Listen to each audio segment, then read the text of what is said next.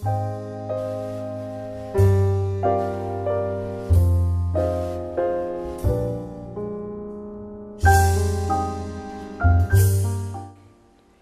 were the first vertebrae that appeared on Earth. Vertebrates are animals with backbone. Being the first vertebrates on the planet, fish provided the basic body plan subsequently elaborated by hundreds of millions of years of evolution. So, according to science, your great great great multiplied by a billion grandmother was a small, meek fish of the Devonian period. Although most paleontologists wouldn't recognize them as true fish, the fish like creatures to leave an impression on fossil appeared during the Middle Cambrian period about 530 million years ago.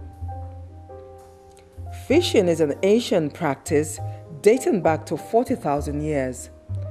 Since the 16th century, fishing vessels have been able to cross oceans in pursuit of fish and since the 19th century, it has become to use larger vessels.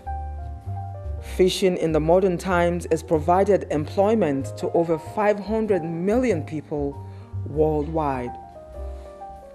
Fish has two major variety, freshwater and saltwater fish, but they are divided into three basic groups, which include cartilaginous fish, bony fishes, and lobe finned fishes.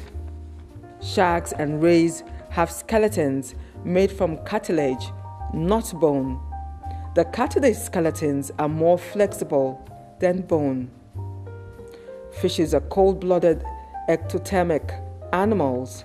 Their internal body temperature is therefore the same as the surrounding water. Some species are referred to as diadromous they are further described by the direction of their migration because some species of fish migrate between freshwater and marine environments to spawn. Fish that migrate from the sea to freshwater to spawn, for example, salmon, are described as anadromous. Fish that migrate from freshwater environment to the sea to spawn are referred to as catadromous. The evolutionary history of fish continued with the dominance of the jawfish, who were super predators. They dominated throughout the Silurian period for several dozen millions of years. Fish are largely distinguished from other animals by their adaptation to their environment, which is, of course, water. Fish physiology differs in some key ways from the physiology of animals that inhabit their kind. The major differences lies on how fish breathe or obtain oxygen and how they move through water. Like animals on ground, fish need oxygen to survive. The only problem is that water has only 2% of the amount of oxygen contained in air. In addition, oxygen levels decrease as water gets warmer, and polluted or stagnant water has less oxygen as well. Fish get oxygen mainly through gills by opening and closing their mouth. Fish move in water with your gills, which are filled with thousands of tiny blood vessels that absorb oxygen and send it into the bloodstream. A few fish can take in oxygen in other ways. Fishes have lots of muscles that enables them to swim in water because water has lots of density. Fish remain buoyant and move up and down in water by decreasing or increasing the amount of air in their swim bladders.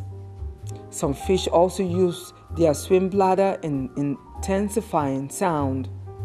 Most fish have a protective covering of scales made out of calcium, which protect fish from injury and sickness.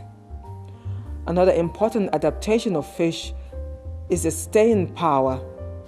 It can stay hydrated and retain a lot of water and proper salt balance, which is a special challenge for saltwater fish. Ingesting too much salt is not good, so saltwater fish drink and excrete salt through their urine and gills. Freshwater fish take in water through their gills and skin and then pass it out also. In Nigeria, fish meals are enjoyed everywhere. Pepper soup is one of the most sought out fish meal, especially in the Niger Delta areas. Fish and stews are off the planet, very delicious. Among so much nutrients you can get from fish, fish provides protein to the body and protein as we know helps to build the body blocks. Hmm, bon appetit.